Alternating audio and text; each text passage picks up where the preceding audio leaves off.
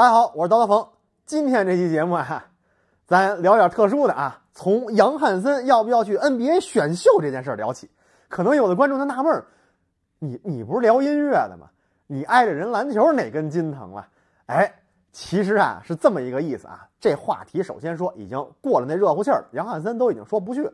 其次呢，在篮球这个话题上，我其实跟咱广大观众朋友们是一样的，我也就是一普通观众啊，就是一看客。但是啊。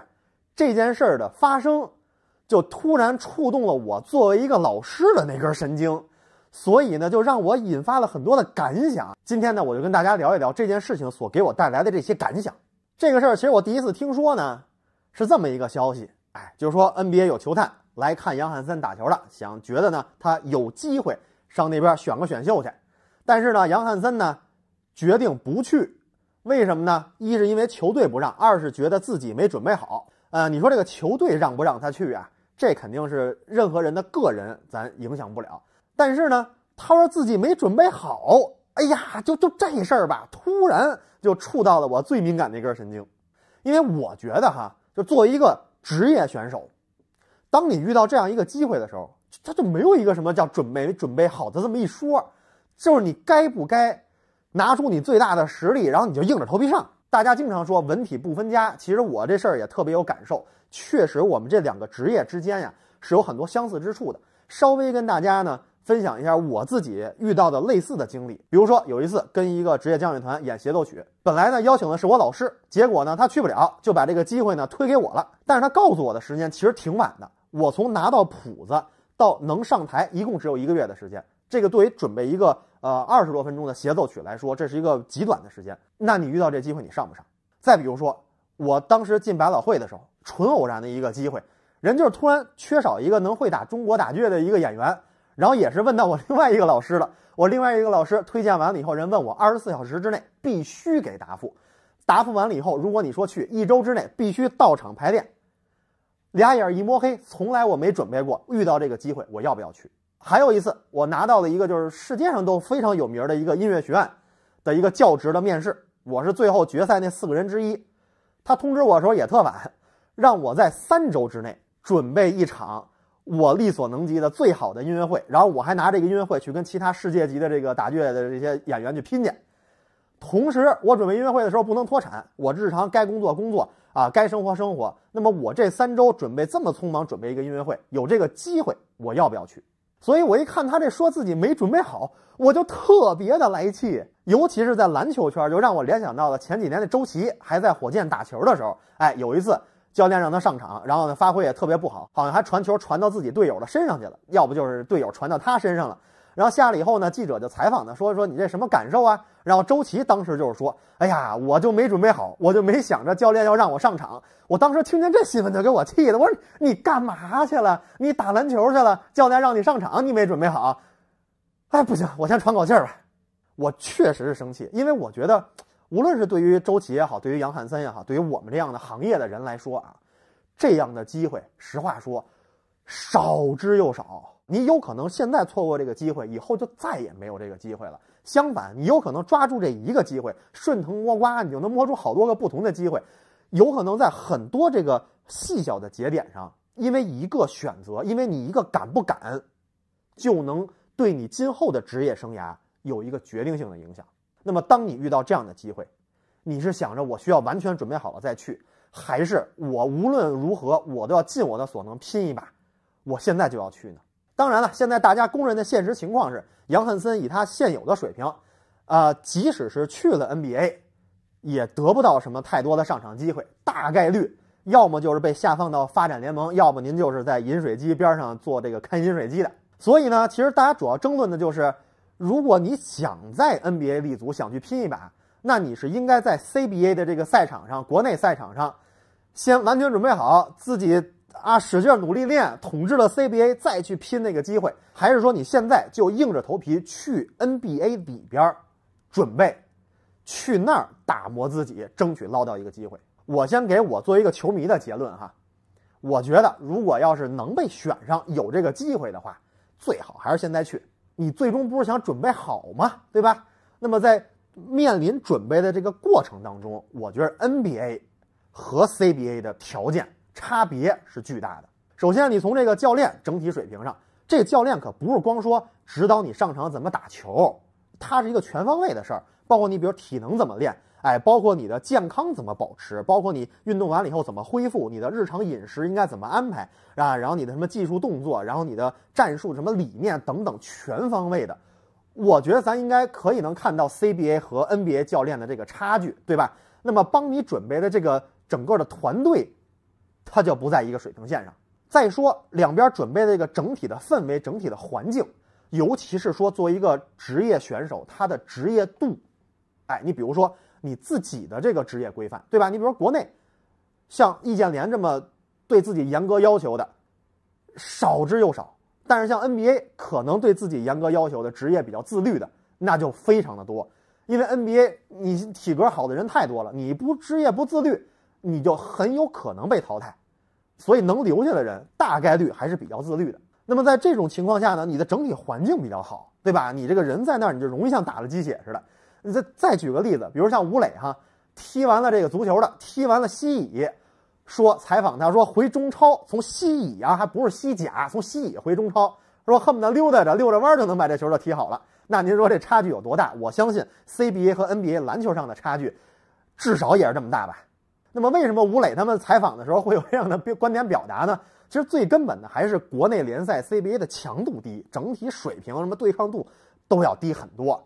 咱甭说跟那个 NBA 的正式比赛比了。您说跟 NBA 发展联盟比，CBA 比得了吗？咱国家队又不是没去打过人家夏季联赛，对吧？再退一步说，你说跟 NCAA 就是人家那个大学体育联盟的那个水平，你你个强度，你有的比吗？咱也打过呀。所以呢，你说你就在 CBA 练，你你使劲练，你能练成啥样，对吧？你去了 NBA 练，你是你哪怕你下放到你发展联盟。你在下发展联盟，你可能没打出来，但是你在发展联盟的强度，你打一年，我相信你在回 CBA，你想统治，可能度都要比你一直在 CBA 练想统治 CBA 可能度都要大一点。而且啊，咱还得再说一个现实啊，其实也不光是什么篮球、足球这种的，就只要是中国不是强势的那些体育项目啊，包括文体，其实都算上。如果你在年轻的时候能有机会去到一个更高的平台。尽量越早去越好，十九岁可能是最佳时间点的那最后一条线了。你要是过了这条线再去，除非你拥有像姚明那种超级的那种天赋，否则的话，你再想发展出来，你再想向世界水平再去冲击，那就非常非常难了。这个事儿啊，其实在我们音乐圈也是被验证过的啊。就是您比如说看世界上各种大赛啊，您要是有十二岁以下年龄组的。那中国统治级的，恨不得前十名里咱得占八个。您要是说十八岁以下的青少年组，那咱就是好成绩频出，偶尔还能有非常亮眼的成绩。但是咱再到了十八岁以上成人那级别的职业专业那级别的，那咱就越来越凤毛麟角了。为啥呢？最主要的原因就是因为咱们呀开始的早。哎，您就想吧，外国那些孩子撒尿和泥的时候，咱各种班全报满了。周六周日，全给安排上。而且呢，我比较了解音乐这个教育啊，就咱音乐教育上面，但凡是想搞专业的，或者什么想搞这个竞赛的什么的，越早上那些大曲子、难曲子，哎，他就越早容易出成绩。然后家长一高兴，你这个学员这个就能接着学，哎，老师也高兴。所以咱们的逻辑是这么一个逻辑。但是呢，在这种培养模式的另外一面，反方向不太好的地方就是。我们可能对一些最职业上面有帮助的一些方面，关注和训练教导的相对要少得多。比如说，怎么样保持一个孩子的职业性啊？包括啊，你怎么自律啊？你有怎么样好的这个练琴的方法呀？你怎么能持续培养你对音乐的这个兴趣啊？还有，当你遇到了这个大赛啊或者很重要的这些场合的时候，怎么能调节你的心理？就是你的心理能不能够成熟？像这些东西。我们其实关心的很少，但是如果你想成为世界级的选手，无论是文艺界的还是体育界的，这些方面都是一定必不可少的。它跟你的专业水平不一定哪个更加的重要，因为您想，您就算专业水平再好，一到大赛您就紧张，您发挥不出来，一点用没有而且呢，由于我们无论文体这个体制的问题，比如说我们音乐上面有附中啊啊，体育呢有很多的这个职业的体校俱乐部都有梯队什么的，那么我们可能在十八九岁的时候就容易达到一个看起来水平已经相当高的这么一个情况。但是呢，外国不一样，很多这个尤其是文艺的，我们都没有什么太多的附中，大多数孩子都从大一开始，老师从基本功再重新给你捋一遍。所以呢，当外国人看到一批十八九岁的孩子的时候，一看中国这这起来这一波，我去，十八九了，都得已经这水平了，那以后前途无量啊！所以越是这个时候，其实他看重的不是你现有的水平，哪怕你现在是水平已经很高了啊，他对你最大的评估是你未来的潜力。所以你在这个时候，就是你在同龄当中，既有高水平，又同时会容易被这边高水平的体系所青睐的黄金时间点，你这时候不过来，啥时候过来？这事儿呢，如果咱要是。再换一个角度想啊，咱把中美调个个儿，比如说啊，中国的乒乓球，那那那绝对的霸主地位，绝对的优势项目，对吧？那你比如现在有一个纯美国小孩儿，您设想一下啊，他是在美国，觉得自己准备好了，打到二十二三岁成了美国的冠军，然后再来中国训练，有可能达到世界顶级水准，还是说美国的这个小孩儿从小？就来中国，跟着中国乒超的这个教练来练啊，跟着中国的这些乒超的这个队员一起来打比赛，一一起来竞争。那您觉得这两种发展模式，作为一个美国小孩，谁更有可能冲击一下乒乓球的世界一流水准呢？当然了，这个事儿说到底呢，啊，我们也不能由此来道德绑架或者来来要求任何人必须做什么。就是这个，它只是我作为一个音乐教师。由于我们这个行业的特殊性和体育行业的这个相关相似性，我由此发出的感慨。